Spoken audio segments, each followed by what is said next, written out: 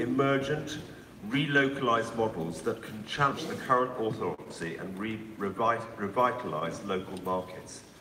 And uh, we have four speakers, and I'll introduce them as they speak. Um, our first speaker is Adrian Dolby, who's Chief, Chief Executive right? Buccleuch Estates. Get this right. Well, Head of Agriculture at Buccleuch Estates. Now, you'll, uh, Adrian will say more about it, but just to suffice to say, uh, this is a land holding of very considerable scale in southern Scotland, and I've known Adrian for many years now, and I'm really delighted to be able to introduce him to speak. Adrian. Patrick, thank you. And ladies and gentlemen, um, it's a great pleasure and a privilege to be here today in this remarkable building. And I would just like to start by, by thanking Sustainable Food Trust for what has been a hugely rewarding couple of days. It is very good to be back in the Cotswolds and to see many familiar faces in this, this beautiful landscape. I would like to begin by, brief, by way of a brief introduction to Buccleuch, the origins of which began some 900 years ago in the 12th century within the lawless borders region between England and Scotland. And whilst the rule of law eventually prevailed some 400 years later, although many may wish to differ, the, the landscape itself has scarcely changed. Buccleuch represents the commercial interests of the Buccleuch family, where at the heart of this business is a vast natural resource, providing a platform for future economic development. Each of the Scottish estates represents significant catchment areas, with Bowhill in the Scottish borders, Eskdale and Liddesdale in Queensberry in Dumfries and Galloway, and Boughton in Northamptonshire, combining to an area in excess of 230,000 acres, of which 60,000 acres are farmed in hand. They include small towns, villages and isolated steadings, the people who live, work and invest within these estates and surrounding areas not only contribute to the success of the rural economy, one that is more often than not constrained by economic activity. So as we evaluate the metrics of what constitutes sustainable agriculture, within Buccleuch we account not only for soils, landscape, and habitat, but also the social and economic factors that are equally valid in measuring success. The population of Scotland totals some 5 million people within a total area of 30,000 square miles, of which 85% is classified as less favoured area status. So to put this into context, it compares with a population in England, in England of 55 million people within an area of 50,000 square miles, of which only 15% is classified as LFA status. However, 70% of Scotland's population lies within the central lowlands between Glasgow, Edinburgh, Perth and Dundee, which in turn translates to there being very few people living in southern Scotland, the Highlands and Islands. I'm not sure how this compares with Western Australia or Siberia, but it is potentially not dissimilar, although the climate in Australia is rather different, but alas, less so in Siberia. Within Buccleuch, we have 130 tenants on farms ranging in size from a few hundred acres to several thousand that include fourth generation tenants to new entrants who have been farming for only a few years. Our new entrant program includes a diverse range of farms and I would like to comment on I'd like to comment on a number of individuals who we are working with in developing their business towards what we refer to as competitive, sustainable agriculture. Our starting point is to identify credible farms that have potential to deliver sustained positive cash flow. We analyse all our farms to identify the likely indicative return using Scottish Government data for a broad range of upland farms and hill farms based on average and top quartile performance. I should add that our analysis shows average performance is simply not credible proposition, more often not than not a consequence of low productivity and high cost. I would also add that where we have modelled some basic assumptions on under a new UK agricultural and environmental policy, effectively a Brexit stress test, top quartile performance is challenged to the extent where one would question why would we continue to farm. Nevertheless, we remain optimistic and positive about the outlook towards the new agricultural and environmental policy. It is remarkable what the millennial generation of new farmers are able to achieve when they start with little working capital and until recently no IX payment. What they bring to the table more often than not are excellent management skills, business plans and a clear understanding of the costs of their costs, but also ambition and determination to generate new income from by every opportunity afforded within their business. Andrew and Eileen Marchant moved to Clonhee in 2011, an upland farm at Queensberry, with 10 breeding ewes and no BPS, but with an ambitious business plan designed to generate cash for reinvestment into breeding stock. Today, some seven years later, they farm with 1,100 crossbred ewes and 30 cows.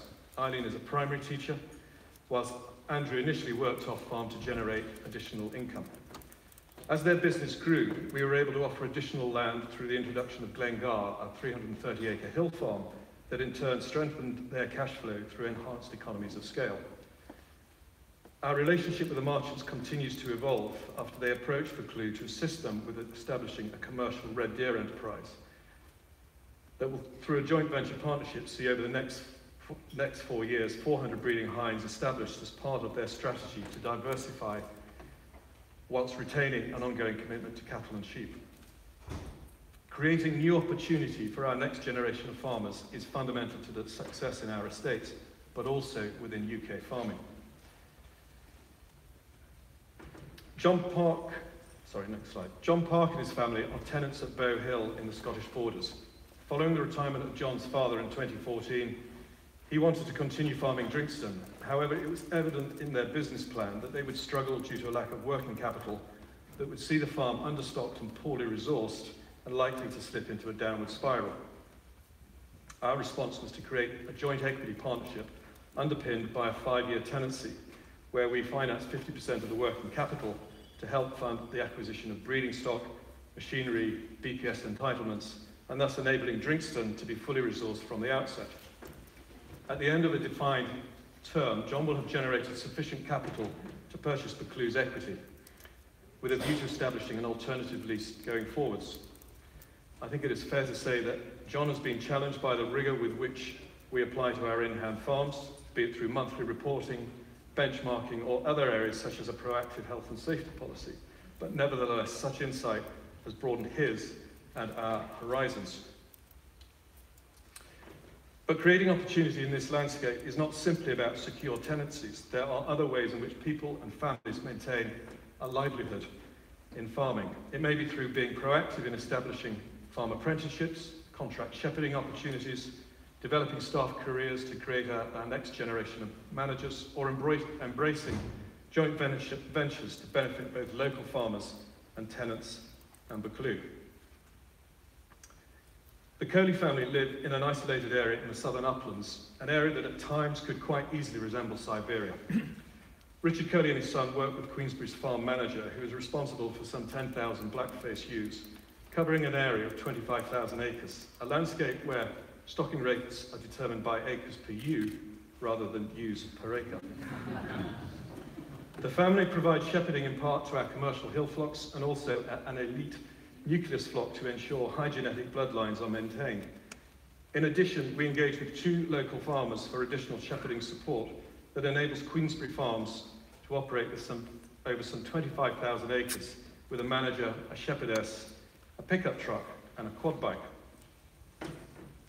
Such collaboration demonstrates how, as an industry, we can work smarter. It enables Buccleuch to achieve top quartile performance whilst maintaining significantly lower costs of production, whilst the Coley family are able to supplement their farm income in an extremely remote and challenging part of southern Scotland.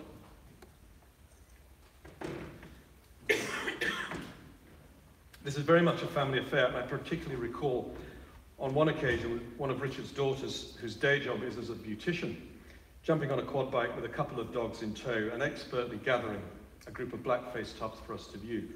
The skill and resilience of this family is truly impressive. Collaboration enables a business to focus on its strengths, what it does well, whilst allowing other parties to deliver efficiencies through their enhanced economies of scale. In Northamptonshire, a recent collaboration in our arable enterprise has enabled us to reduce our costs by 140,000 a year whilst removing a cyclical capital requirement of £1 million every five years. Our in-hand farms in the Scottish borders operate under a very different model through dedicated staff, machinery and the requisite infrastructure associated with nearly 600 suckle cows, 8,500 ewes, a free-range egg enterprise, an AD plant that is run on cattle manure, um, over an area of just under 15,000 acres. The business directly employs 11 full-time staff and six part-time staff. UK agriculture has to nurture the next generation of ambitious, technically smart and resilient people if we are to improve productivity and efficiency. We invest significant resources in staff development that not only ensures continuity within our, within our farms, but also provides career opportunities for young people. For example, Alice Muir, our farm manager at Eskdale and Liddesdale, who has responsibility for nearly 18,000 acres. This is the future of our industry, and we have to develop that talent. Lantra project a general decline in all farm employment, identifying a need for 60,000 new entrants to agriculture over the next 10 years. They have concluded that only 50 to 70% of recruits will be forthcoming. This is not a positive indicator of sustainability.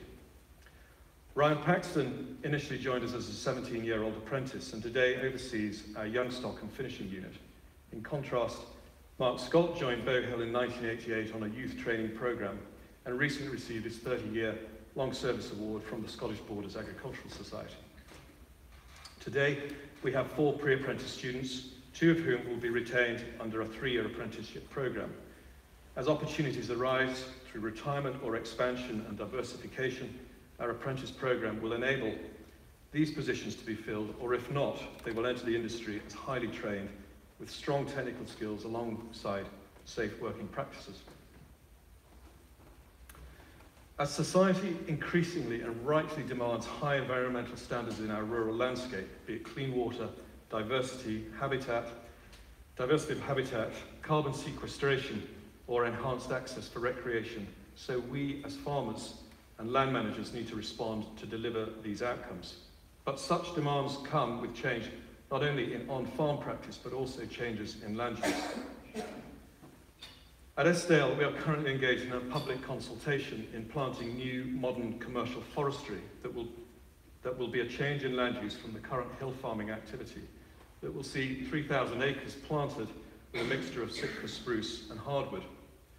We acknowledge such change in land use may not sit comfortably with everyone. It is a dynamic tension between the demands of our society towards carbon mitigation, future housing and commercial land management, or a desire to maintain hefted hill flocks, generations of farming families, and a landscape society is more familiar with. Sustainable land use will inevitably see changes to traditional landscapes, but will bring new enhanced opportunities for public access, tourism, employment, through new investment in delivering clean energy and timber planting for future generations. Our commitment to renewable energy will play an important role in the future of our estates and local communities through a number of new initiatives that include wind, solar and pump storage hydro. In Dumfries and Galloway, we are cur currently developing the former Glenmuckloch open cast coal mine uh, to what will be a 240 megawatt project having recently secured grid connection. It illustrates how, as society drives change, we see old technology being replaced by new clean tech. Further development in wind will see up to 150 megawatts through 30 turbines installed in the North Lowther Hills, an area recognised as one of Scotland's optimum sites for wind turbines.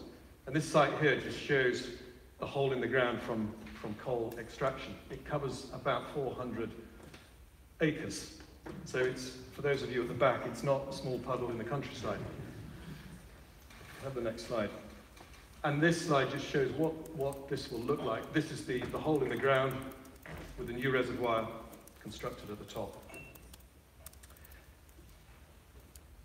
So technology has and continues to play a huge role in the ability of our farms to improve productivity, such as maximizing grass dry matter, nutrient efficiency, stock quality, and the health that in turns, turn directly enhances cash flow, but also in reducing the impact of farming on the environment. At Bowhill, new cost-effective technology continues to play a key role in driving our business forward. The Precision Innovation Centre, otherwise known as the Agri-EPI Centre, is part of an agri-tech strategy launched by government in 2013.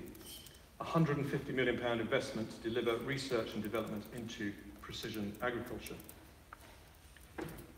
Within our strategy for farms, technology is identified as a key component on, to ongoing success through a new era of information technology and science that will assist us in optimizing production whilst controlling cost. Bowhill acts as an Agri-EPI Centre satellite farm to assess research and development to aid the improvement in productivity and efficiency within beef and sheep through precision equipment, sensors and data recording. Current projects include measurement in real time the herd's heat and calving status, enabling staff to monitor core body, core body temperature and health status of each individual animal. Calving alerts are sent 20 hours before the onset of calving, enabling resources to focus on the, those cows due to calve in any given day. As an example, if we are able to reduce our existing calving losses by, say, 10% on 600 suckle cows, this equates to sales of an additional six yearling cattle some 12 months later. And this is just a, an example of what you'll get on your smartphone. Sorry, previous one.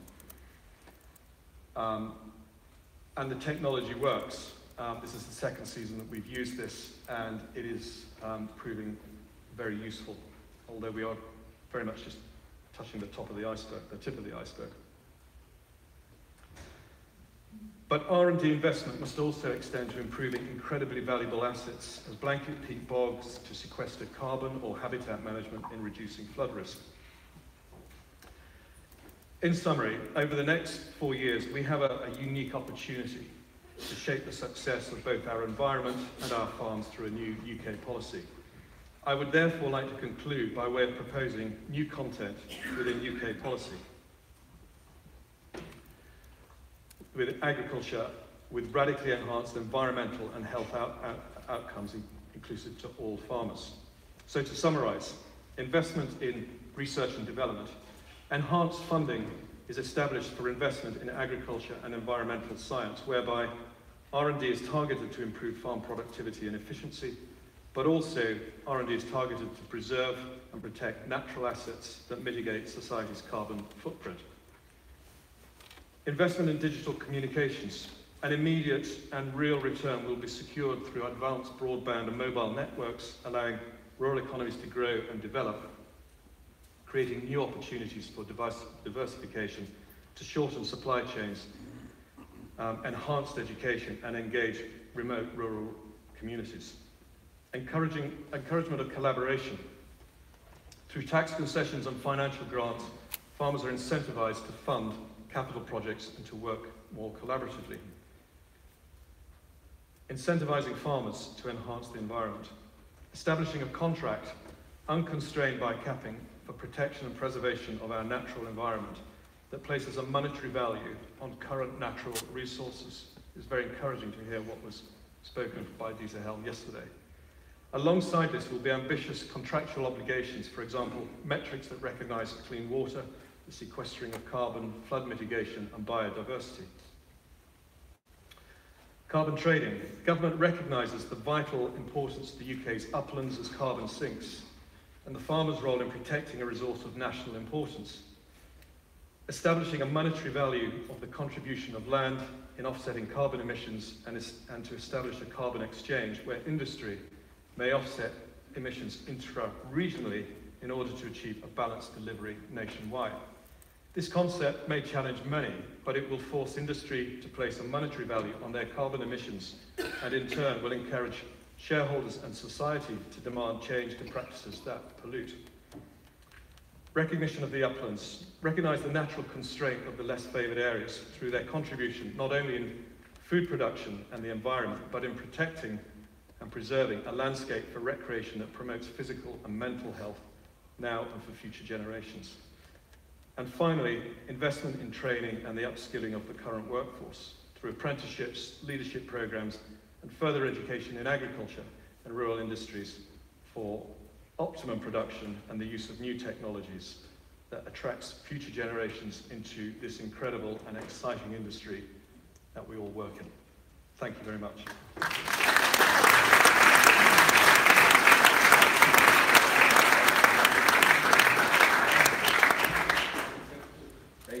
Adrian, thank you. You're so um, impeccable and professional.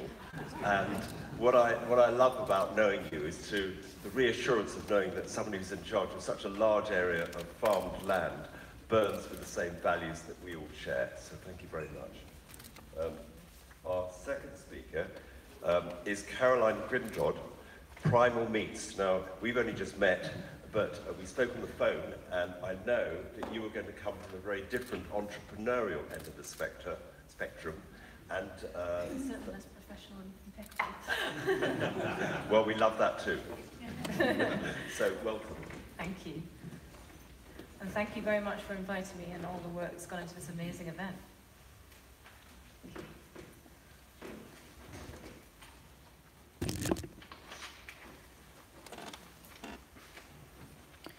I've been asked to share a bit about our internet business, Primal Meats. And I don't think I was asked because it's some big influential business. It's certainly not. But Primal Meats and our way of looking at the supply chain as a whole is a purpose-driven business that perhaps might inspire others to do things a little bit differently and perhaps think outside the box. I've been in livestock farming for 20 odd years and I both love and hate farming. I've been inspired by amazing farmers who care very deeply about their livestock and land, and I've witnessed cruel horrors to livestock and nature. Just like business, farming is a neutral activity that can be a toxic, cruel mess, or it can be a way to change the world for the better.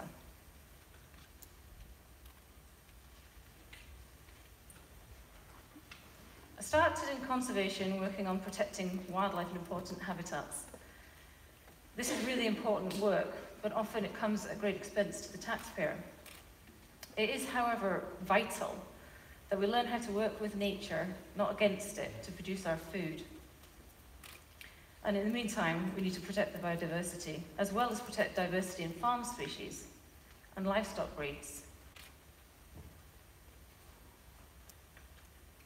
But I started to realise that farming in a certain way could be great for the land, biodiversity and a powerful way to produce nourishing food. But how the, how the heck do we get more of the good farming and less of the not so good farming? In my experience, legislation has been relatively ineffective at delivering these assurances.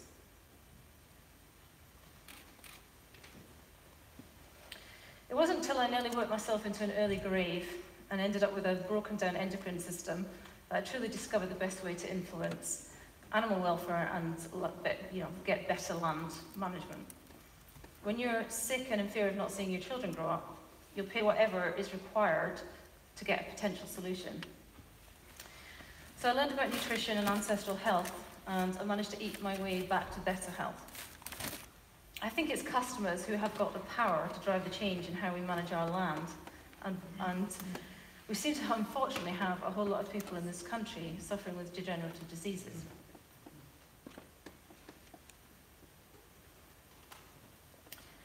Having developed a small butchery at Yew Tree Farm, where I was for 12 years, I learned the hard way the issues of running a meat business.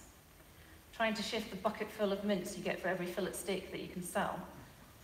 The wholesale customers who want all your best cuts but don't pay the bills. And the fluctuating trends in, in cuts. One minute it's ribeye steak, the next minute it's beef cheeks, and now we even have a waiting list for beef bones. and having a tiny window of opportunity to sell the whole carcass. This is definitely not easy money. I had to become an expert in nutrition, run multiple complementary food businesses, including a cafe, a burger van to try and sell all the forequarter meat, become a PR demon, an internet entrepreneur, and learn the art of butchery. And let's not forget the small task of running a profitable hill farm using grass-fed animals in a way that regenerates important habitats and gives you year-round consistent drip feed of award-winning and perfectly marbled exquisite tasting meat. Surely this isn't required for every hill farm to make it profitable.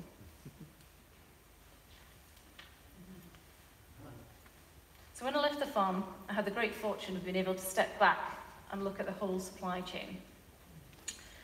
I used Primal Meats was really a way of me using my experience to try and help more farmers just focus on what they do well. And I would try and use my skills to get their product to market. The problem, of course, was, and possibly still is, that the market wasn't quite ready.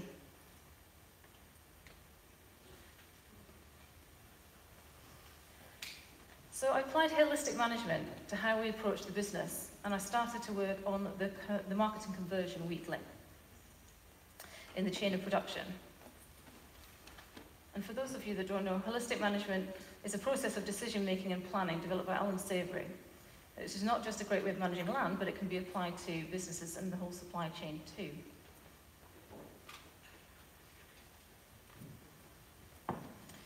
So I studied nutrition and worked with therapists to understand how diet impacts health and what foods are best for restoring health. Then the link between soil health and human health has become more and more interesting to me. I've written and talked about this a lot in different places. And the similarities between the gut microbiome and the soil microbiome is astounding. And I think that the, the soil, I think of the soil as the land's gut, and our gut as the body's soil. If we damage soil with harmful chemicals and practices, we also destroy our own systems. The cycle of land management, livestock and wildlife health, and human health can't be separated out. It's a whole, and we need to learn how to manage it as such.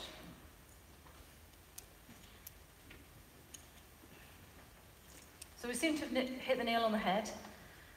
Unfortunately, there's a lot of people that are struggling with their health out there who end up on our virtual doorstep with money to spend. We've even developed a new eating approach designed to rebuild health and simultaneously drive ecological restoration, which we call the Wildeboer approach. As a way of supporting farmers to transition to a more regenerative approach, we first created the demand. But in holistic management, as soon as you address the weakest link in the chain of production, you then need, need to immediately turn to the, the link that's most likely to break next, which for us was the resource conversion. There just aren't enough farmers producing food in this way. And a lot of our time and, and effort currently is going into addressing this particular problem. And lucky for us, there's lots of other great people doing the same work. Primal Meats is built on trust, and we offer our customers the guarantee that they'll get healthy meat grown on healthy soils and it'll have been reared organically using the food that the animals are designed to eat. The customers trust us to use our experience in farming and holistic management to find their farmers for them. We use great certification marks like Pasture for Life uh, and on organic to help assure customers, but we really do work on a personal approach built through engagement and learning. When our customers order, they don't get to choose where the meat comes from, they buy into the fact that we can assure them it's a great farm. This allows us to work with small family farms and direct the orders who could, to who can best fulfill them. The orders get sent to the customers direct from that farm. We can concentrate on getting customers without the cost of and issues of running uh, our own premises. And the PFLA track system allows the customer still to get the full traceability and assurance that this comes after they receive the meat. This localised system supports their existing supply arrangements and ensures we support, support local abattoirs rather than transporting livestock to centralised systems. The next pain point is balancing the carcass. But by building trust, we've encouraged our customers to join into a membership programme where we decide which cuts to send them every month. Different cuts offer different health benefits, and we can achieve good carcass utilisation and zero waste. Every piece of the carcass tastes great if it's cooked well, and we feel every piece should be valued equally. We don't sell wholesale. We get lots of inquiries, but we tend to send these on to our producers to see if that's going to help their business. This way we keep our cash flow up front instead of months behind.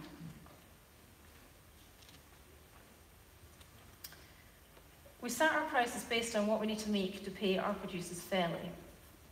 We don't try and compete with other companies on price, and we don't advertise to try and increase our business quickly. In fact, we've hardly advertised at all. We use content, internet marketing, and relationship building to grow our revenue, and it's on track again to double this year. And this keeps our running costs really low. We believe that the cost of food has been driven too low by huge centralised systems that have externalised their costs to get consumers more convenience and cheap food. And we're not even going to try and compete in this playground. We encourage customers to pay the true cost of the food and explain that what they pay for is not just calories, it's a vote towards their health, their future of the planet, and the welfare of their animals. Yes, of course, it makes it more difficult for families on low incomes to buy good food in a modern society. But instead of trying to cheapen food, we need to address the root cause. My grandparents, who lived all of their lives in a, a council house in the middle of Newcastle, spent more as a portion of their income on their food than I do now. They lived into the 90s in great health and happiness, and they certainly didn't throw away 30% of food in the bin like we do in the UK now. Cheap food has allowed families to spend more on other stuff, and it's disconnected us from the land. And unfortunately, people don't attribute the wicked problems that we face globally to the root cause of soil degradation, caused a lot, in, in, in great part, by the production of the, the cheap food and those, that cheap merchandise.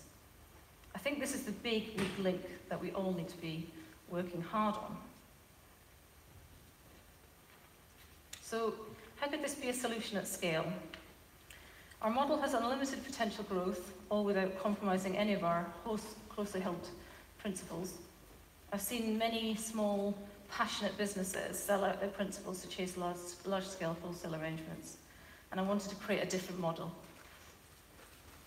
And as long as we continue to strengthen all the links in the chain of production, we can take on more farmers, increase the reach to a wider range of customers, and hopefully work with innovative and holistic-minded businesses who can help strengthen the issues in the product conversion link, such as the need for more regional abattoirs, better delivery networks and systems, and more sustainable packaging options. We'll continue our work helping farmers move to a more regenerative model, and we'll keep on developing the market to find new and unique, innovative ways of addressing each new challenge as it no doubt will emerge. I think of our business as being a, a part of a supply ecology. In natural systems, the more interconnections between species, the more resilient and able to weather change the environment. The number of potential new habitats is endless. But to do this, I think we need a, a shift in thinking and doing.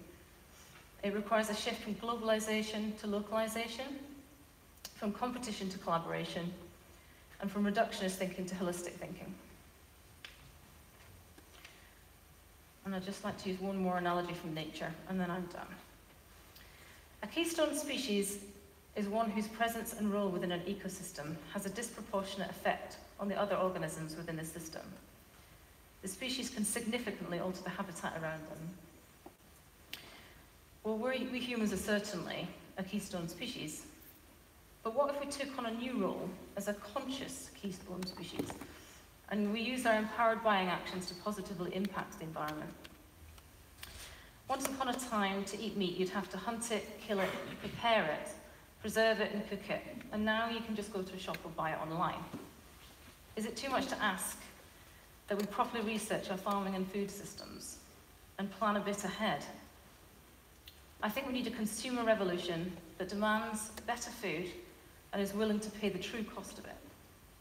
If we want a planet that will sustain our future generations into good health and be a place where nature thrives, then we need to take up our place in the supply ecology and play our part well. Thank you very much.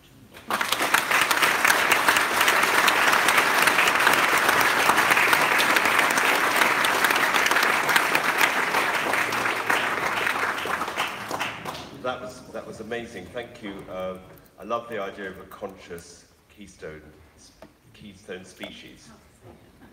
I'll get it. Um, it's, I think we've, we've moved from a landscape scale project with young, mainly emergent young people looking after the bits of it, to a disruptive uh, and yet holistic uh, challenge to the existing marketing system. And now we've got another one uh, in the shape of Ben Pugh, the founder of Farm Drop, founded in 2014. And uh, we're looking forward to hearing your story. Thanks, thanks everybody. Thanks, Patrick. Um, and um, yeah, my, my, my, opening sensation, I guess, is, is just one of feeling very humble to be stood here, uh, having the honour of, of chatting with this group who I've had a very, very moving and enriching two days with. So if I, if I sound nervous, then, then that's the reason, because it's, it's been a really incredible couple of days. Um, and, and a lot of the things that Caroline was just picking up on uh, ran very close to my heart in terms of efforts around trying to, to, to, to will changes in, in, in consumer behaviour. In fact, I actually had my own epiphany, the penny dropped for me in terms of how this whole system fits together and how the conventional system is so broken uh, in about 2012. And the, and the first couple of years of Farm Drop were, were really me standing outside tube stations in the rain, haranguing people uh, and trying to tell them to help me fix the food chain and shouting at them about we must do more to support sustainable producers and actually we need to we need to sort out the environment and what about animal welfare and actually um, the, the learnings were very hard and, and they're probably best summarized by a, a quote a Bob Dylan quote which is um, which is that uh, people seldom do what they believe actually more often they do what's convenient and then repent. And, and, and, and that's every day at Farmdrop, I think I experience the, the truth in that. Um, and that's why every day at Farmdrop, we, we turn up at work and we just try and make it easier for customers and producers to, to move the food between themselves. And every time we do make it easier, we take another step forward. Um, very much in the DNA of Farmdrop is this idea that um, it's not suppliers, consumers, actually we've got two groups of customers and they're both equally important. One of th those groups eat the food and the other of those groups produce the food and we go to great lengths to listen and, and, and and really pay attention. And, and the blueprint of Farmdrop has been evolved and built around what farmers tell us is, uh, are important to them. We're not the finished article. We have a, a long way to go to, to, make, to make it all it can be. But what I'll do over a few slides is, is, is tell you what it currently is and, um, and, and, and let's see how we get on. Um, so, so I'm Ben, I'm the founder and CEO of Farmdrop, and I, and I started Farmdrop because my view of the conventional food system is that it's, it's, it's essentially broken. Um, the fact that, and we talked about this a lot over, over a couple of days, the fact that producers get such a small share of retail prices frankly ridiculous in the mobile internet era. Um, the fact that food is moving around for thousands and thousands of miles and is overly processed, um, I also think is completely ridiculous. And when, and when I started looking at this, this problem, um, actually I found that even living in, living in central London, um, the formats that were on offer, whether they were farmers markets or local shops or box schemes, they just weren't offering the requisite levels of, of convenience.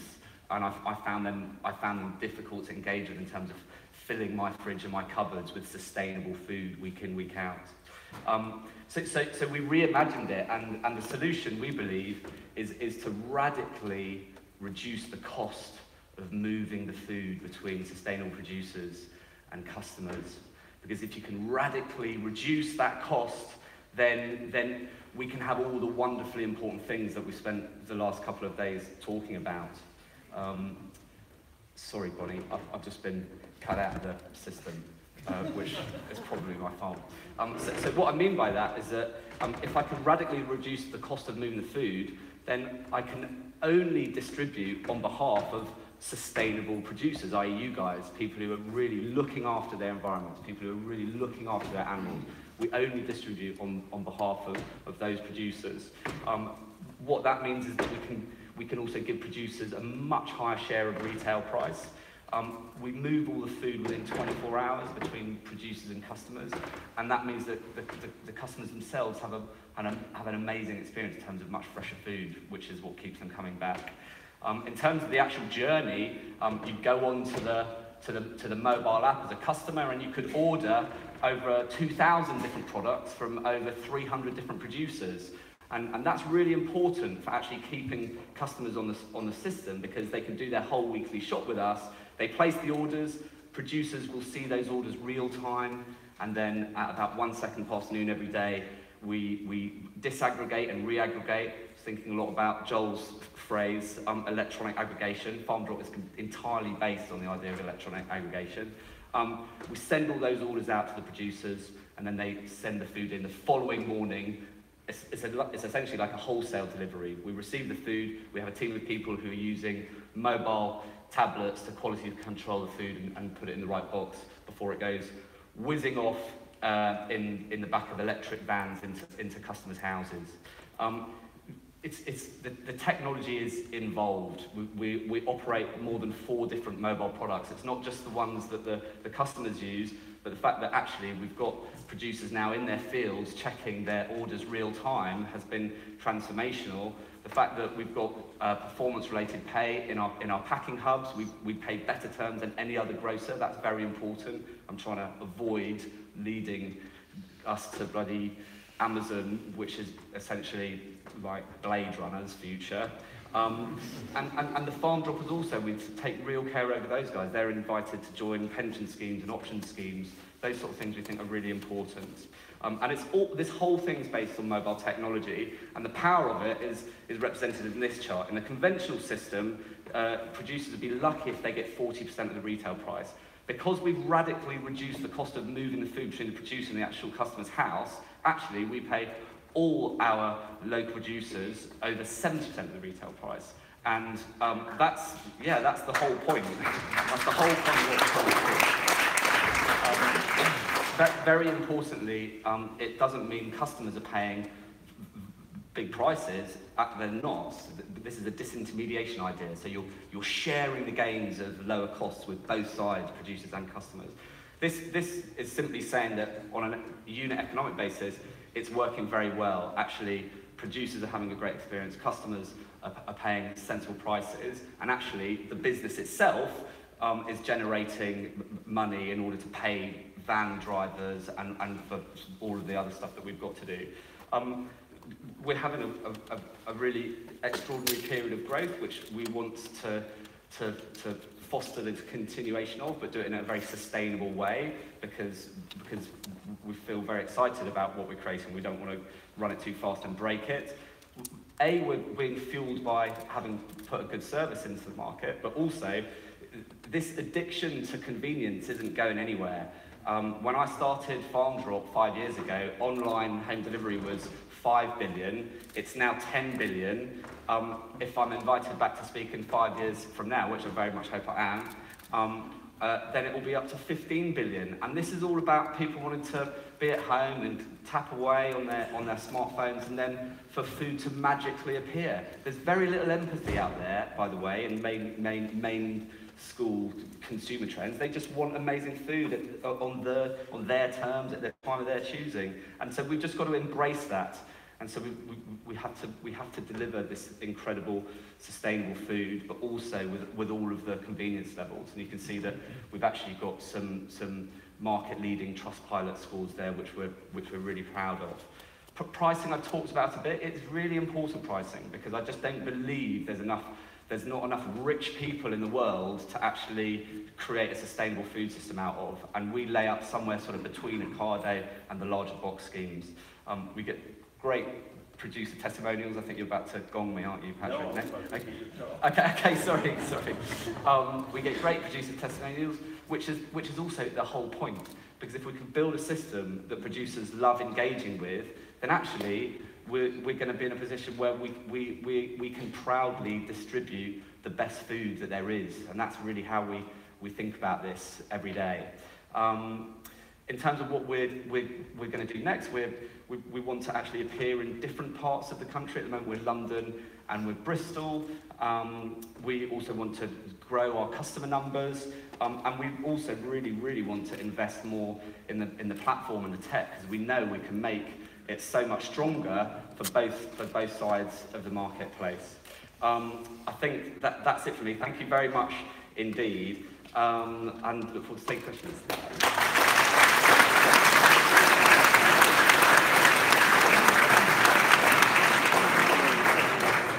thanks so much, Ben. Uh, we're looking forward to the questions, but before we have the questions, we're going to go to our last speaker, uh, who is Darina Allen. Um, yesterday, we were talking about uh, public money for public goods, and then I tried to give Dieter Helm and rather failed to give him a hard time for focusing only on natural capital and not until recently extending his remit to include uh, social and human capital. So I think it's very appropriate that we hear from Darina, and I think the plan, Darina, so you're going to show us a sort of lightning series of slides, aren't you?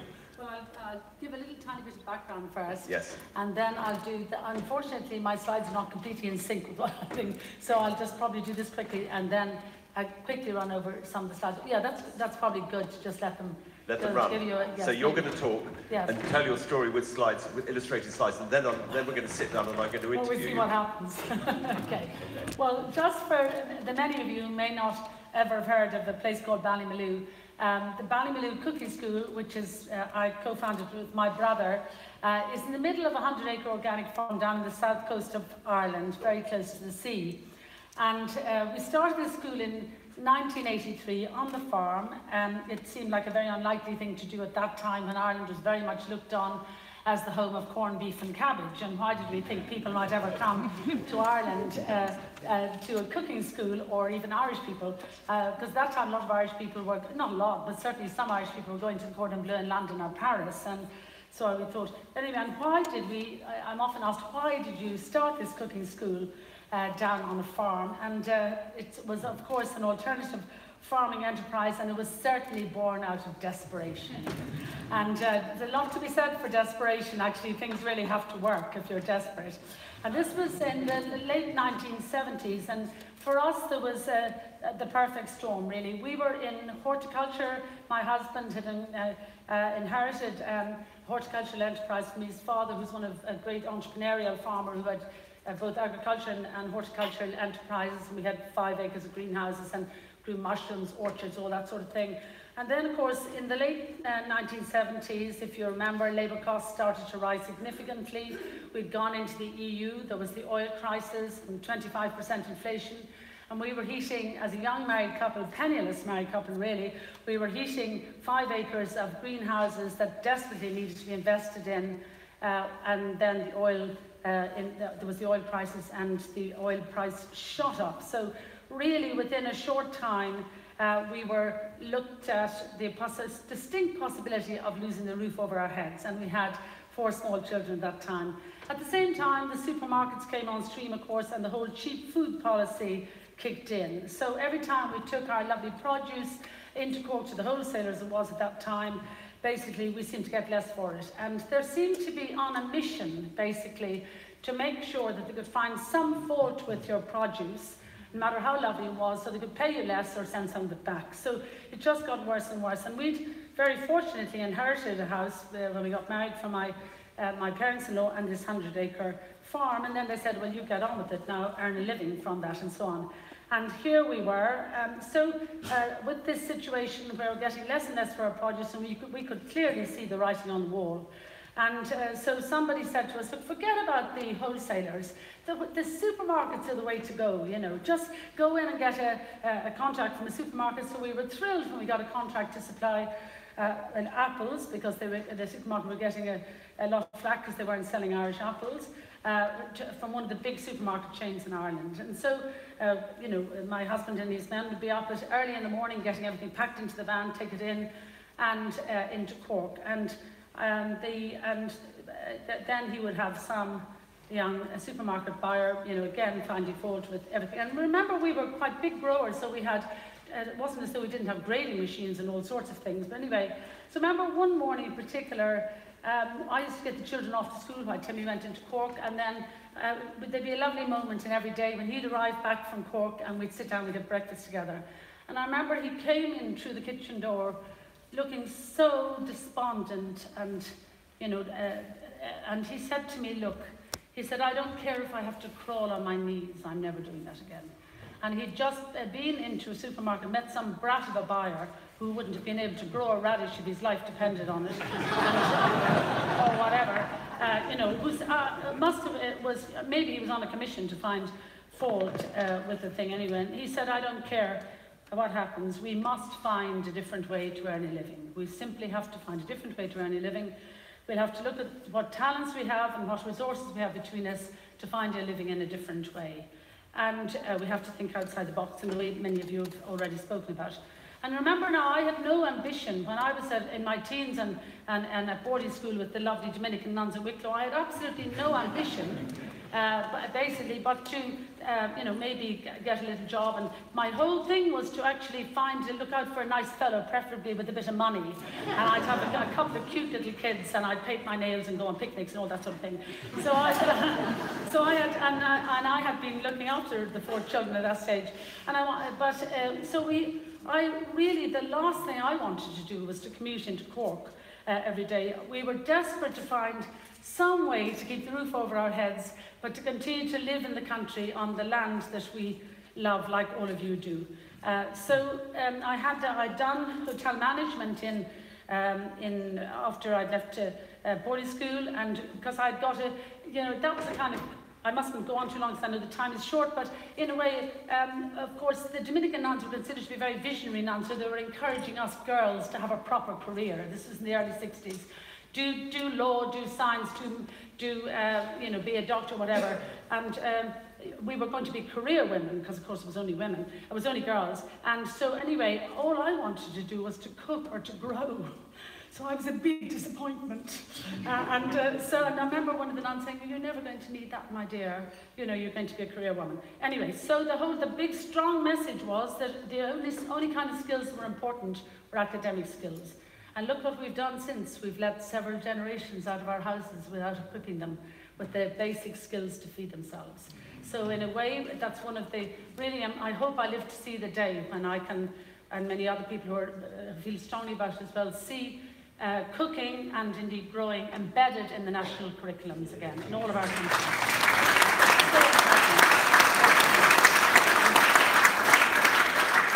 Need to take up our pens and, and things.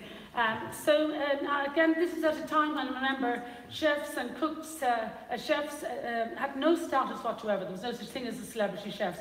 And also women ran tea shops. They couldn't even get into uh, top restaurants. But so they said to me, well, if you insist, my dear, it's a, a degree in, in horticulture or hotel management. So I opted for hotel management. Anyway, fast forward. Um, now, so in, uh, that's a little bit of background there. And then when I came out, you never know in your life what's the little thing that's going to change the course of the rest of your life. It's often a tiny thing, actually. Uh, but in my case, it was when, again, when I was leaving hotel school in Dublin. I had everybody else in my class had got a, a job at that stage. And uh, the sort of job you would get from this hotel management course would be um, you, you would be an assistant manager in a hotel. You'd have a lovely uniform, you'd have a badge saying you were assistant manager was another word, as far as I was concerned, for slave. And so I, I didn't want to do that, I wanted to cook. Uh, but so I had no job, everybody else in my class had a job, and I met one of the senior lecturers uh, in, the, uh, uh, in the corridor one day and she said, haven't you got a job yet? And I, I said, well, I haven't. And she said, well, why haven't you? You know, and I, I told her I really wanted to learn, I wanted to cook more, I wanted to learn about souffles and pâtés and terrines and all the sort of things that sounded so exotic then. And, uh, and, and I wanted to learn more about fresh herbs and so on. And so she said to me, uh, she, she told me I was too fussy, but then she said, well, funny, I was at a, uh, dinner party uh, a couple of nights ago, they were talking about this woman down in Cork who has opened a restaurant in her own house out on a farm in the middle of the country. And she writes the menu every day, depending on what's in the garden and so on, and what fish comes in from the boats near, the near Ballycotton down there. And they have fresh herbs, they have a dairy herd, and they make ice cream from their cream and everything. And I couldn't believe my ears. And I said to her, my God, that's exactly, I didn't say my God, well, that, that's exactly what I want. Uh, you know, uh, they, and uh, uh, uh, she couldn't remember her name, so she came back a few days later with a piece of paper and she said, this is the name of the woman, write to her. And the name on the piece of paper was Myrtle Allen, who's now my mother-in-law. So that's how it's done. You're married to boss's son. There you are. anyway, I'm meant to be talking about that thing. Anyway. I know I will be, uh, I'll be very quick. I'll be very quick. Yeah. So now, fast forward, students come from all over the world at this point in time, and it's mostly word of mouth. And they come to the cooking school in Ireland on a farm because they want to see food produced from the farm to the fork. So the first thing we do on the first morning is we take them out introduce them to the uh, to the, uh, that's me on the first morning actually, running my hands through the soil and saying, remember, this is where it all starts in the good earth. But Darina, you're going to say the story about how you started. Oh, have I not said that? No. Right. well, what's that story? Well, I think you tried to borrow some money and you... Oh, God, yeah. Well, it was in the piggeries, wasn't it? Oh, it was, yeah, yes. Well, actually, yes. Um, Anyway, yes, we had no money. I, I, I, I, said that already. And so we, uh, I worked out somehow or other that we needed to borrow 18,000 uh, to actually convert some farm buildings on the farm uh, into a little cooking school. And at that time was the really worst part of the recession uh, the last recession in Ireland, not this one we just had, but the one before that. and, and, and so basically, uh, everybody said um, that, that, you know, you haven't a hope of getting money. They were all complaining about bank managers and all the rest of the same thing. Anyway, I made an appointment, uh, I borrowed a little suit. Uh, a friend of mine helped me to write out. I actually had to be I mean, this sounds ridiculous. I had to have be, be explained the difference between a debtor and a creditor. I was that bad. Uh, I mean, you can't believe, can't even believe. There's not even a laugh for that because you can't believe it. but anyway, somebody wrote out on a friend of ours who's quite good at money wrote out on thing. He said you have to know how to speak to the bank manager properly. I went to the, into the bank manager and uh, he was so. Everybody said they were awful, but he was so nice. And uh, he, I told him about this terrific idea I had to start a cooking school in converted bar, farm buildings out on a farm in Shanagarry. And that I, I, I thought people would come and that they might even come from abroad eventually. And uh, so he was, uh, he gave me tea and biscuits and everything. And I was so excited about this idea. And uh, then he said to me, he listened and listened and seemed very relaxed. And then he said to me, well, I'll have to discuss it with my colleagues. Well, I would know now what that meant, you know. Uh, but anyway, uh, that, so I went off and he and came back. At least I didn't come back. About a few days later, I got a, um, I got a letter in the post sort of saying no, well, not no like that, but no, and it was, the tone of the letter was more or less, we need to save you from yourself. um, and so, and years later, anyway, my father, very fortunately, my father-in-law and mother-in-law really believed that this was a good idea, and they were desperate for us to find a way to earn a living anyway. Uh, so they decided, they said, forget your bank, which was a savings bank where we had a little overdraft and go to our bank and we go guarantor for you. So how lucky were we? Uh, but then basically, um, the, so uh, I went to their bank and we uh, uh, then, you know, built the cooking school and off we went. Did I leave out a bit of it? I did probably. Uh, but that's more or less it, yeah. Pardon? Now you could pass forward. How oh, is it now? Yes. Well, just one other thing about that. I didn't meet that bank manager for about 20 years. And I, I said, I met him at a drinks party one night, and I, I said to him, do you remember me? And I'd coming into you, and he said, I do remember, of course. And I said, well, I was completely fooled. I thought she thought it was a great idea. And he said, well, and I said, what? he said, once you started to talk, you got so excited, I thought I might as well sit back and enjoy it. and, and I said, well, aren't you sorry now? I've borrowed, borrowed money. Uh, uh, I, have borrowed so much money since you'd have done really well out of me. Because that's what we've done all the time. We've borrowed money, worked like hell, paid it back, and reinvested, reinvested, reinvested, reinvested. Anyway, students are from all over the world.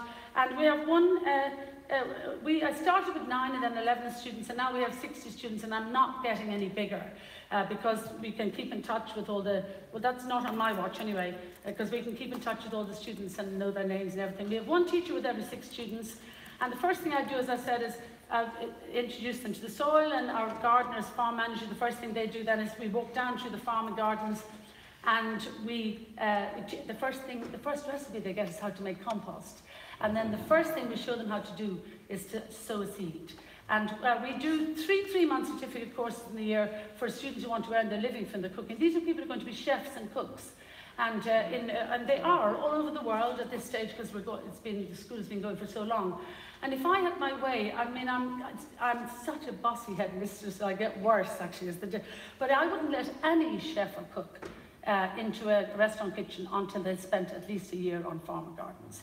And then it would knock some of the arrogance out of them. You know, that I want it and I want it now. And a lot of, it's getting much better and there are of course exceptions to this, but many uh, chefs and cooks have no idea about the seasons or they're certainly not the reality of nature or that a crop can fail or whatever.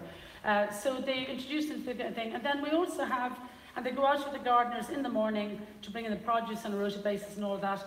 They can learn how to milk the cows in our little micro dairy. We have a micro dairy where we make butter, cheese, yogurt, and of course raw milk as well. Bre the bread shed, I don't know, the, uh, there, uh, there's some, oh yeah. This is, these are some of my grandchildren, uh, which you don't need to know about, but this is their, their the, the greenhouse. There she is hiding, looking very guilty with the peas in her pocket. anyway, we have a bread shed. Uh, we're like trailer trash now with some of those trailers that transport the food all over the country. Uh, we've converted them into a bread shed where we do sourdough bread, and it's like a little a bakery, uh, and people come for 50, 60 miles for the bread. We only sell from our farm shop and from the farmer's market, and, but of course it, mostly it's teaching. Uh, we teach fermenting, foraging, and there's a deep craving re reconnect um, with uh, how food is produced. And that's why people come from over now 160 countries around the world to this little cooking school uh, out in the country in Cork because they can learn literally from the, from the seed upwards. And the scraps from their morning's cooking get fed to the hens and come back as eggs the next day. And uh, then the, uh, we also teach butchery and we have some uh, we have some cattle and pigs. And I'm a dairy farmer. I have nine cows, nine Jersey cows. And we, the royal we, uh, uh, uh, uh they milk them every morning. Uh, so the, we do, apart from the long course, we do day courses, two and a half day courses, week courses. And this summer we're doing a five week course as well for people who can't get away for 12 weeks. But one of the things I'm most excited about uh, is that we uh, are, last year for the first time, I've wanted to do this since before 2008 when the whole economy collapsed in Ireland, is we do a six-week sustainable food production course uh, using all the resources of the farm and gardens and greenhouses. And uh, this is a thing that has just grown gradually as we see another opportunity or to get asked for something else, we put it on and teach it. So we have uh, Patrick was talking about the impact on the local area and so on. Actually, one of the students at UCC has done a PhD on the impact on the local community of this little business and of course Ballymaloe as well. So we employ, um, this really shocks farmers. Uh, we have a 100 acre organic farm and we have 60, uh, we have 60 staff, okay? Uh, that's for the cooking school uh, as well as the, the farm and gardens. And they're full-time and some full-time, part-time, if you know what I mean. Uh, we buy our food, what we don't produce ourselves, we uh, try to source as far as possible in the local area. Of course, we buy spices and all sorts of things from all over the world, trying to get the best of everything and often linking directly with the producer somewhere in the world. Uh, so we have over 120 small artisan producers, farmers, people who rear chickens, ducks, geese, uh, smoked fish for us, farmhouse cheese, etc. And we also link in with, under one of my other hats called my slow food hat, uh, we have a, a project with nine local schools where we teach the children how to grow and how to cook. Oh my God, you can't imagine the excitement. They absolutely love it. Every one of those schools must have an edible school garden. Uh, we send a chicken coop and two hens to all the schools so the kids learn how to keep chickens and they uh, feed chickens. They, um, they, they, take, clean out the coop and put it onto the compost heap in the uh, school garden and then uh, they know how to keep the chickens. So if the kids can, if we can teach the kids how to grow and how to cook, it doesn't matter what the bankers do. They'll be absolutely fine. They'll have their, their life skills.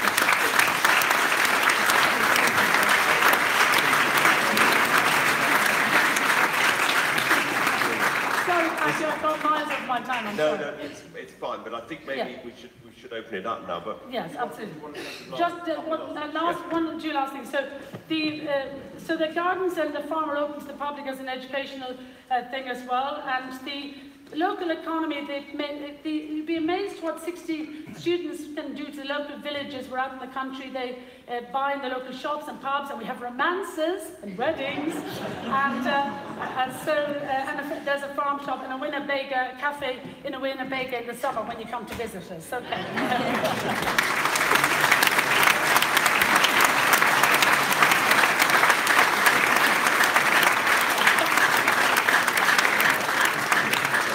Well, I've been to Ballymaloe quite a few times now, and what I think is remarkable is that the whole uh, economy of the cookery school and the hotel have reversed uh, the rural exodus to the city and are now attracting young people back. So the place is it's magnetic, it's culturally magnetic, and it's employing people, it's also, it's social and cultural. It's not just about employment, it's much more than that.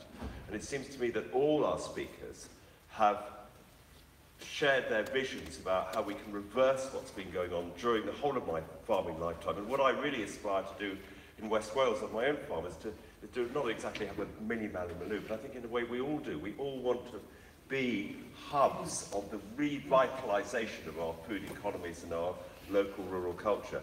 And I thought it's very nice to end with Dorina because she's made it so social and cultural. So often that's left out. So, to you now, uh, what would you like to ask? I'll go to Tim uh, first, Agricology, to see if there's anybody still with us. Thank you. Um, as soon as I got the mic, uh, a guy called Dave Plants has Instagrammed us and asked, um, this is really uh, towards Darina um, and, uh, and, and on behalf of Buccleuch Estates as well, how can we open up these tenancy agreements and land to get those little entrepreneurs just that first step on the ladder um, so that we can have lots of these wonderfully sort of um, enterprising uh, growers and, uh, and, and farm shops and so on. Yeah, you go first, Adrian. Well, we, we have a, we try to be proactive in a, a new entrant program, um, and that will see opportunities created, as I, I, I mentioned, that we will, we will ensure that the, the starting point is to ensure that the farm is credible.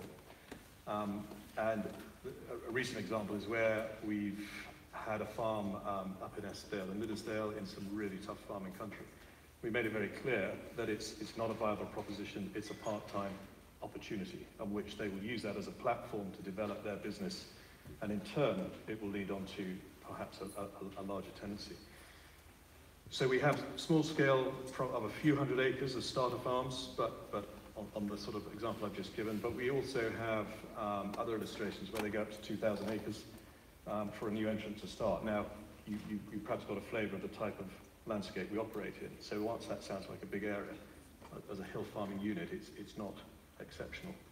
So it's, it's really establishing that it's credible um, and then creating the environment where we can nurture that individual in a way that they, they, they succeed. So Darina, do you want to add to that well, in any way? Actually, we don't have, in fact, a tenant farm system in Ireland, but basically one of the, several times, so many, several of the speakers touched on uh, the, the regulations that are totally out of proportion to the risk involved. So it's something we must all work together uh, to try to make some kind of sane thing so that we can encourage anybody with any little jot of entrepreneurial spirit to get on with doing something. And again, uh, with a different hat, I chair something called the Artisan Food Forum in Ireland, which meets with the Food Safety Authority of Ireland three or four times a year, more often if necessary, to articulate the challenges and the difficulties that the artisan and food, specialty food sector um, uh, encounter. And we have quite good communication. Sometimes I feel like the little boy, the little Dutch boy with his arm in the, in the dam. You know, you plug one hole and up comes another. Uh, but basically, uh, this is the fundamental to actually uh, getting businesses going in the country and, and uh, for rural regeneration and everything is for people, anybody who wants to do something to be supported. We've got a bit better at it in Ireland, but gosh, there's still a long way to go. And probably as a result, the most in, interest, the most exciting thing on the food scene in Ireland in the last 30, 25, 30 years has been the emergence of an artisan and specialty food sector where people are, even on tiny farms, are adding value to their produce and selling it to a network of local farmers markets and so on. You have tremendous things going on over here too. But that's the key is instead of saying no you can't, no you can't, no you can't, yes you flipping well can and we'll find a way. Okay, there we are. um, Caroline, yes, please. Um, we have a, a management company called Wilderculture CIC, which is set up to to look at this whole how do we get more great food coming out of the system. And we're exploring some ideas at the moment with um, the National Trust and looking at tendency uh, uh, ideas. And one of them is to go in as a company, as a management company with lots of people with lots of skills um, that can help a new tenant sort of develop a new, a, a new way of doing things.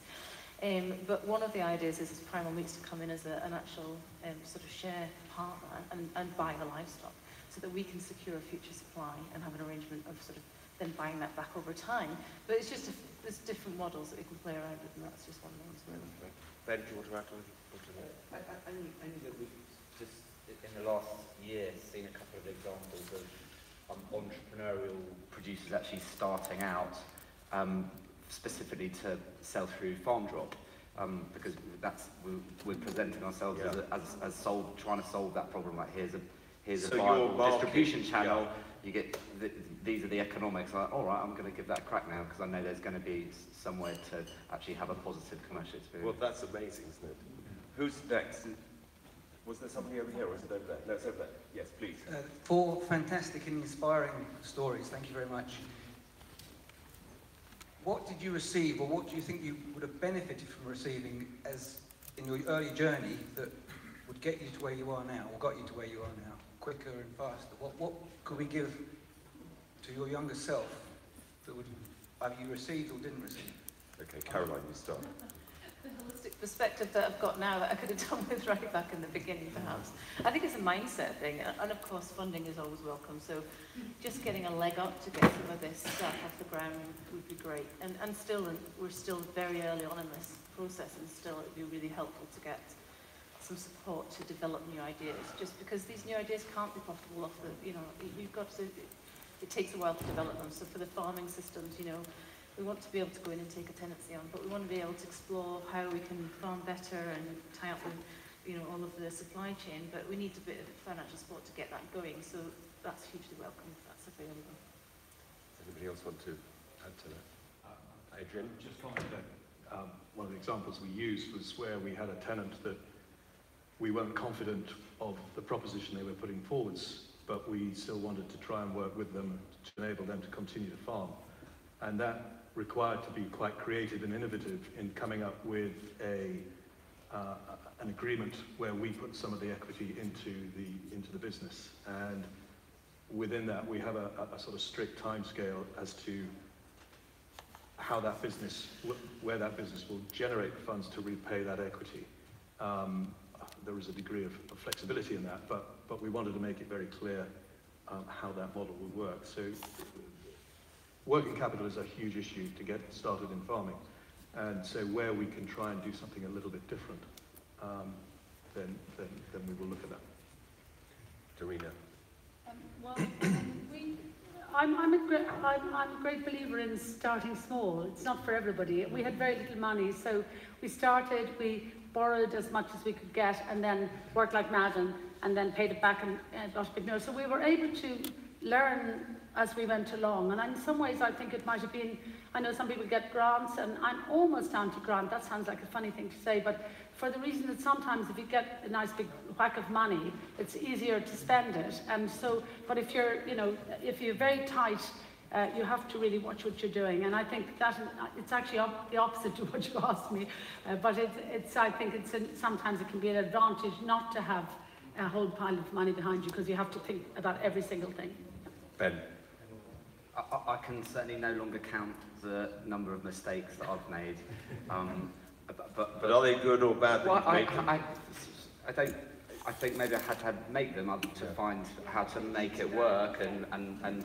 But but I, I do remember quite a, a few conversations with mates in the pub, and I was telling them about this amazing idea, and it was click and collect, and it was the first version of Farm Drop, and it was it was unfortunately it was just quite a terrible idea, and and, and, and they'd sort of look at me and go, oh well, good luck with that, you know, and actually what they were signalling was like this is a terrible idea, um, and, and I should have just probably paid more attention to that.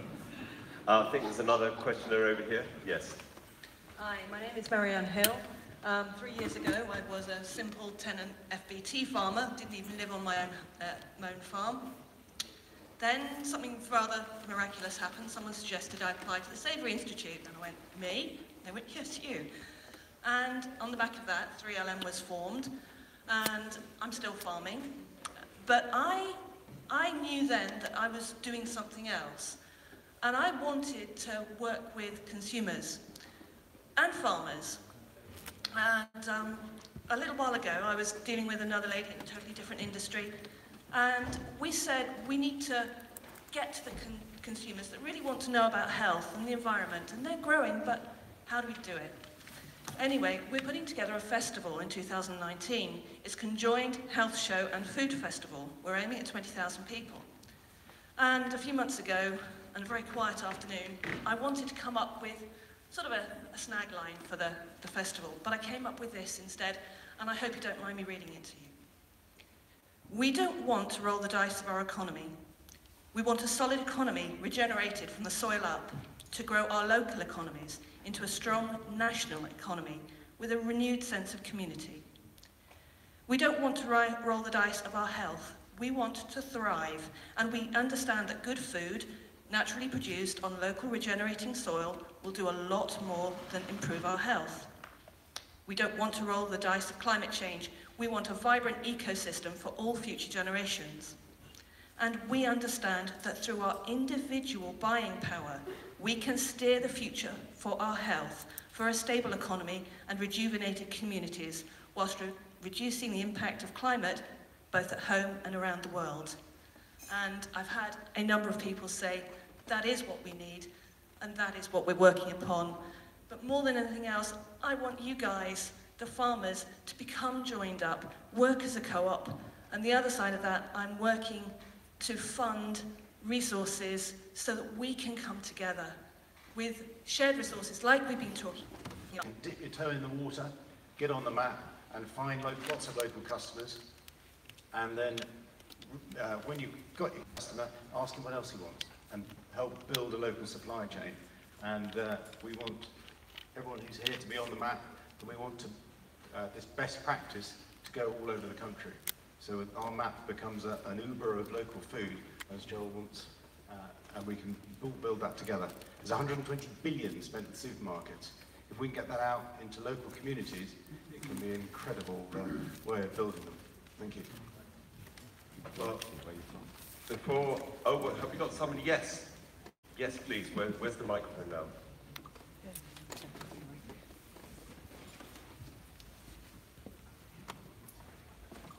I just, it was a question mainly for Darina, um, just about, obviously you're sending out all these, it's not meant negatively, but disciples really of the positive food movement.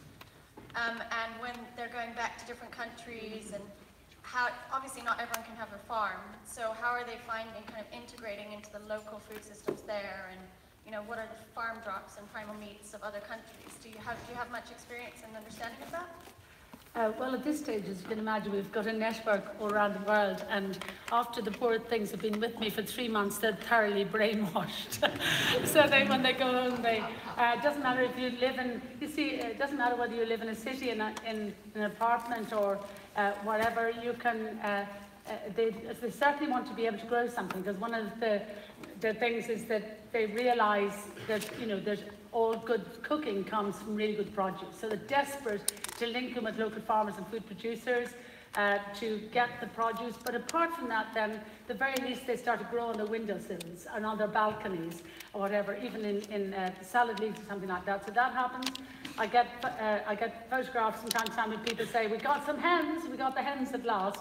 Uh, so they do, uh, students do tell me, and there were several past students here uh, in the, they may still be in the group today uh, at this time, who say that they live their lives in a different way. And then I also say to them, as they leave, I say, look, remember how fortunate all of us are that we've been in a position to be able to learn how to cook and the way it can change people's lives and the way to everybody's heart and all that sort of thing. And I say, I want each and every one of you to go out and pass on your skill, even if it's only showing people how to make a loaf of bread or a bowl of soup or something.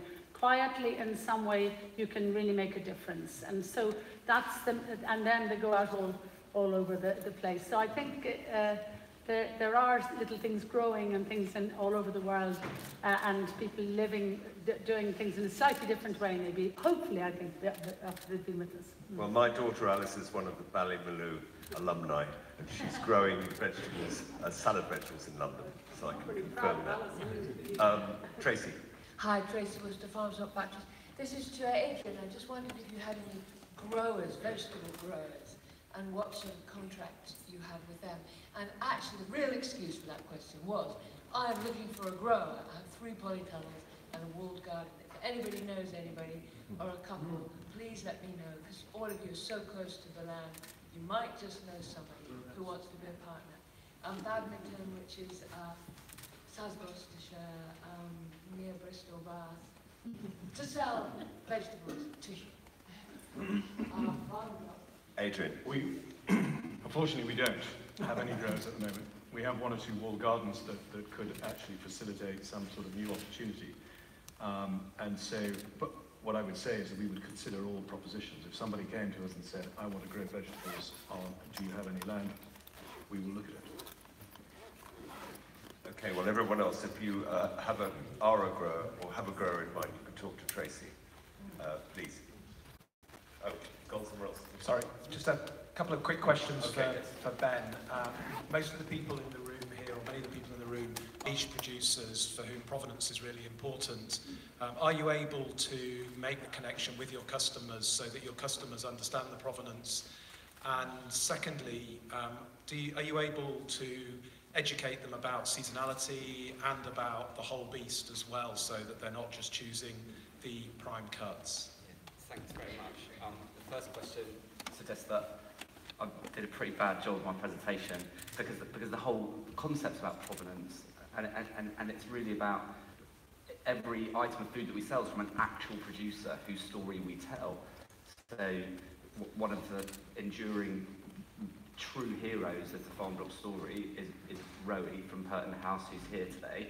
Like if somebody's buying some of her kale, some of her amazing organic sausages, you're buying them from Rowie and you can go through and learn about Pert House Organics and what's going on on her farm.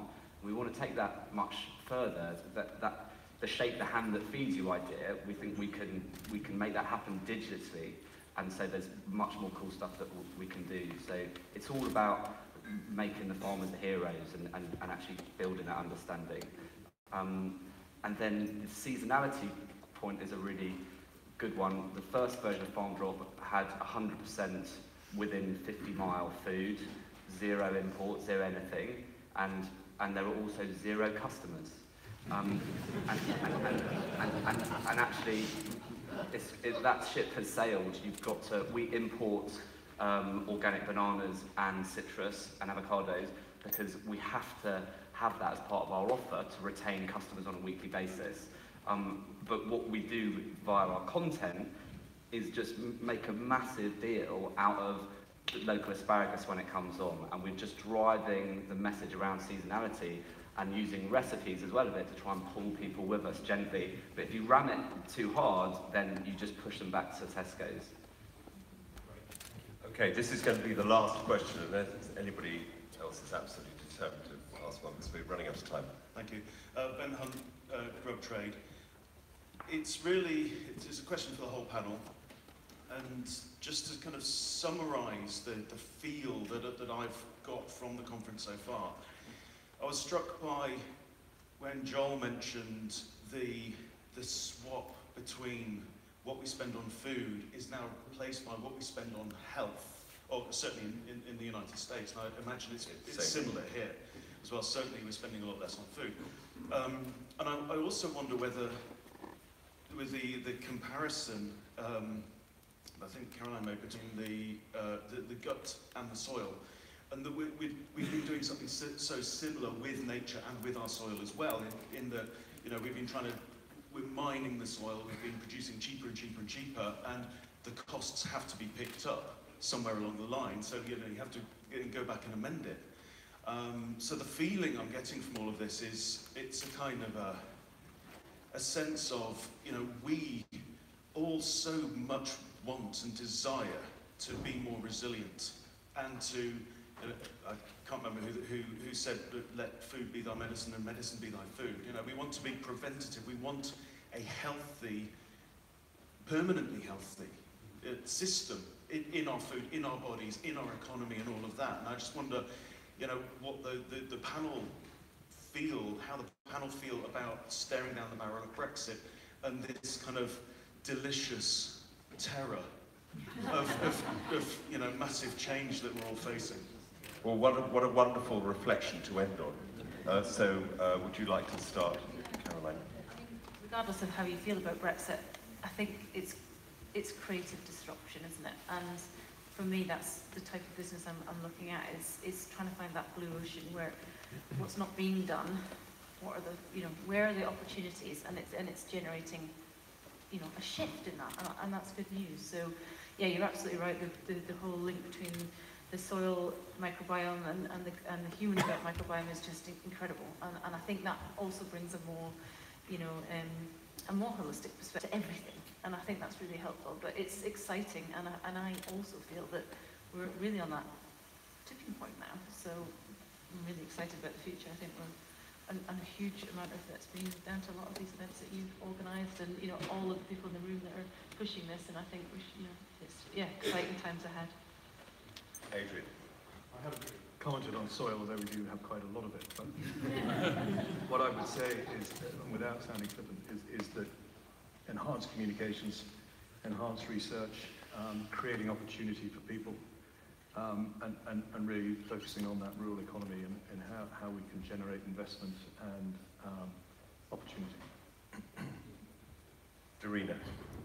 Well, just to cheer you up, we think that Ireland will be much more, uh, you know, badly affected by Brexit than you are over here even. Uh, we'll, you know, because of the, the, the, the price of sterling and all of that, so we export a lot of our thing. And also, I'm not quite sure how the border issue is going to be uh, is going to be resolved. You can't put a square peg into a round hole. It doesn't matter how much everybody wants to, and that's a big worry. But just on the for one second on the gut biome, because uh, uh, today somebody mentioned, of course, that the health of the soil and the health of all of our gut and everything else is absolutely totally connected, and much more research has been done on that now. And just on this term, we're linking up with the University College in Cork, where a lot of work is being, research is being done by uh, Professor Ted Dinan there on the link between our, not only our physical health uh, but and our mental health, between the gut biome and our physical and mental health. So before this group of students arrived in last week, we sent them out a letter and asked how many of them would be interested in giving a sample of poo when they came uh, to actually for UCC, uh, because they're coming literally from 12 uh, countries around the world uh, to uh, participate in some research to see, they've, take, they've taken a sample the other day, 26 students, by the way, out of 60 did. They, take a, they uh, took a sample before they took a bite of food, which most of the food they would be eating, they're not all, at the school would be organic or local and so on. And then they will take another sample at the end of the 12 weeks and they're going to compare them to see how, how the difference wonderful. in the gut biome is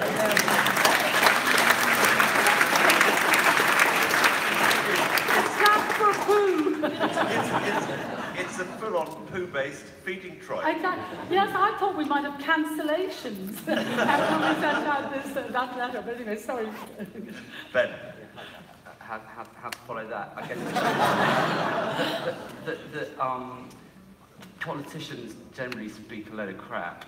And, um, and, and, and, in, and, in, and in my focus is, is just kind of getting on with trying to support and, and protect local farmers by giving them great terms and in exchange they look after the soil and, and produce amazing food which means that my children don't have to take antibiotics. I think that's been a brilliant theme of the last two days.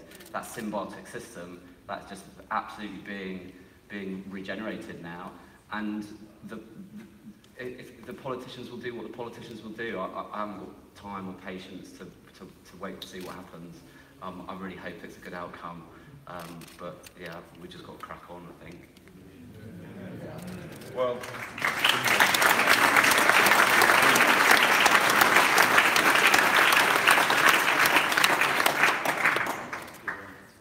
I'm going to say some thank yous in a moment, but uh, I think it's rather appropriate that we've ended up on this theme of the, the microbiome, because in a way I feel that um, the conferences like this and I've participated in quite a few, they generate an atmosphere of shared consciousness, which I think is another level of microbiome. And it's when, when if things, if the conditions are right, and they've been so amazingly right here at Firth Farm, um, over a couple of days, we sort of co-generate an atmosphere where we become more porous, where uh, maybe because partly because we're eating the same good food, but also sharing ideas, and we're sharing each other's company, and we're sharing a, an enhanced state which arises literally. We co-create from our own togetherness, which then uh, creates conditions which, for being inspired and receiving the food of the the ideas that are shared by the speakers,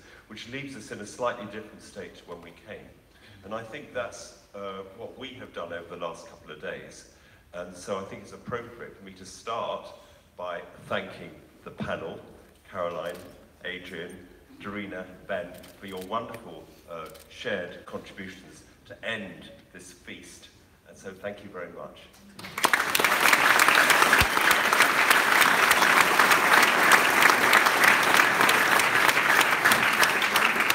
And I'd also like to thank all of you um, for coming and sharing in this. Uh, it's so much has felt to me as if we've created this together.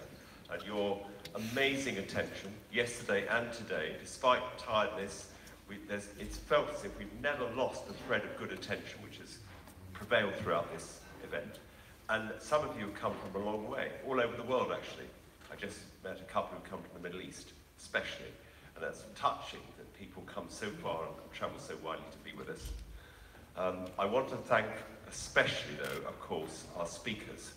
Uh, the two Joels, um, Michael Gove and Minette Batters, but all the panelists over the two days and the rich, rich uh, experience and ideas that uh, they've shared with us. Uh, I can't thank you enough for giving up your time and putting so much effort into preparing your contributions. They've been amazing and uh, I think we're all enriched by them, so thank you all very much.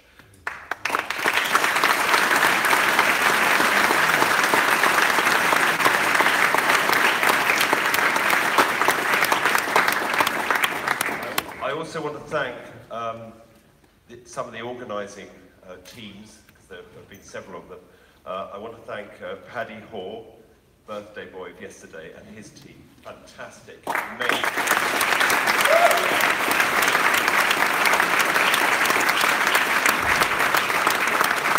And Caroline and her team for the delicious, life-enhancing food.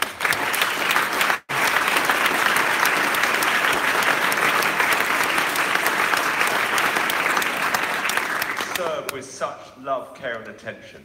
Amazing. Uh, really just took it to another level. Thank you so much.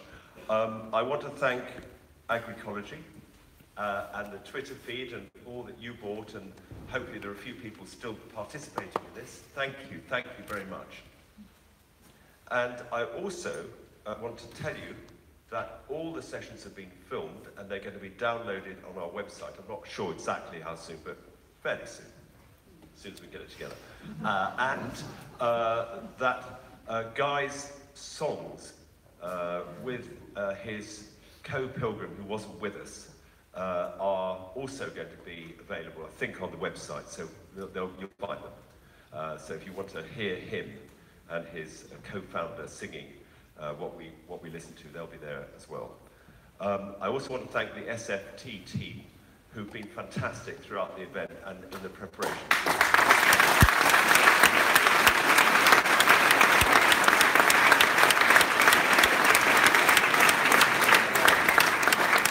Uh, Adele, Bonnie, um, Megan, Alicia, Richard, uh, and other people who are not here in the SFT. Hannah, Hannah, look at even filming as I speak. Thank you all very much indeed. And lastly, uh, Jane said she would be very cross if I uh, thanked her and Alan again, but I just can't not thank them because they are two very, very fine human beings, and without their generosity, uh, both towards the SFT, but also in terms of sponsoring this event uh, and providing this incredible venue, uh, the event wouldn't have taken place. And I honestly think that it's, it has been and will continue to be a significant influence. This gathering will be a significant influence which will, the ripples from which will go out for some considerable time in making sure that the post-Brexit evolution of a more conducive environment for the uh, food systems that we need for the future uh, will uh, evolve. So uh, thank goodness for that, thank God for that, and bless you all. And there is now, I think, a drink, And so safe journeys home. Thank you.